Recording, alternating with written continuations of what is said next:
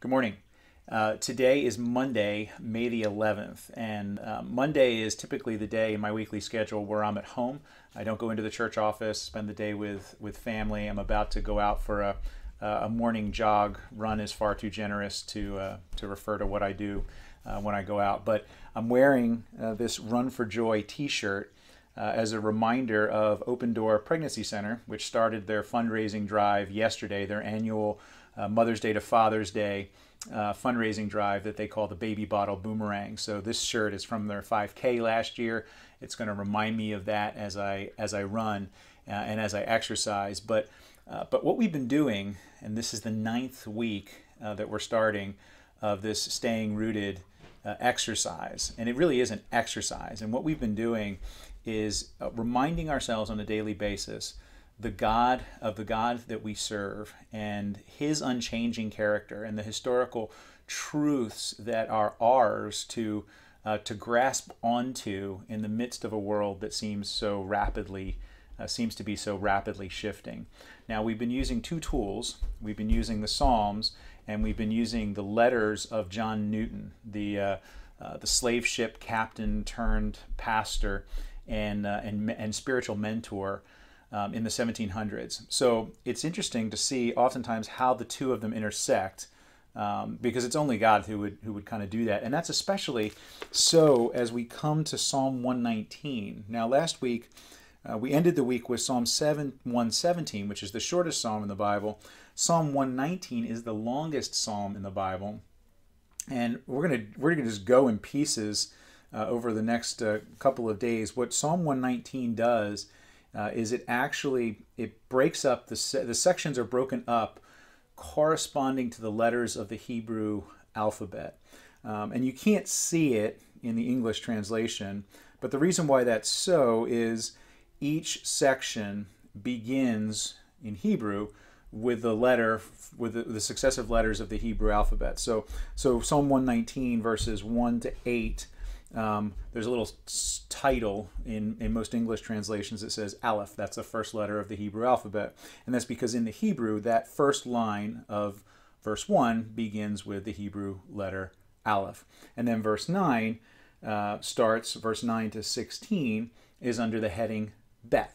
And that's because that's the letter that uh, begins that section in the in the original Hebrew, and then all the way through the rest of the of the Hebrew alphabet. But Psalm 119 is, uh, is primarily focused on the power, the beauty of God's law. And I took a, a seminary class in seminary, a one week uh, intensive class down in Charlotte. Uh, on Christian ethics, basically the study of right and wrong according to a Christian perspective. And every day, uh, for the five days of that course, the professor would do a devotional from Psalm 119 uh, because he said, you know, understanding, and not just understanding, but loving God's law uh, is the key to understanding a Christian perspective on right and wrong in the world in, in which we live.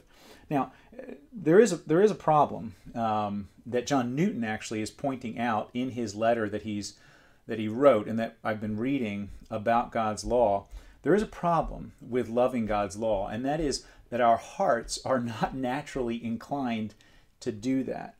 Psalm 119, verse 4 says, You have commanded your precepts to be kept diligently. Oh, that my ways may be steadfast in keeping your statutes. Right? So, so God's precepts, his commands, should be kept diligently. Now, Newton says there's a problem with that. And the, and the problem is that in our natural state, this is what he said, um, in our natural state, we are prone to dislike God and conceive the law by which we are to be judged to be too strict in its precepts and too severe in its threatenings. In words, we don't like it. We rebel against its, its perceived strictness and its perceived severity. And he says, in short, there are three things, three properties of the law which the natural man in his natural state cannot allow to be good. Three properties, he said, that we don't like. One, the spirituality and the strictness of the law. It's too strict. Second, its severity. It, it, the consequences of disobeying the law seem to us to be too severe. And three, its leveling effect. In other words, we rebel against the fact that, that when we look at the world around us uh, and, and see other people that we perceive that we're better than, we hate the fact that the law, because of its, because of its strictness, because of the highness of its standard, puts us on essentially level ground with other people that we perceive ourselves to be much better than. And Newton says this this this this just it, it irks us. It drives us to to to anger uh, because we don't want it to be that way in our natural state. Now, the cure to that, Newton says, these prejudices against the law can only be removed by what? By the power of the Holy Spirit. In other words, as we go through in coming days Psalm 119, we're going to need to understand and remember that we need the power of the Holy Spirit to change our hearts to a disposition of love for God's law, so that we can say, along with the psalmist, this is 119, verse 16, I will delight in your statutes, I will not forget your word. God's law is meant to to, to, to, to provide standards for us, to provide boundaries for us for our good. And when we understand the goodness of God, we can come to understand the goodness of His Word. Have a great day.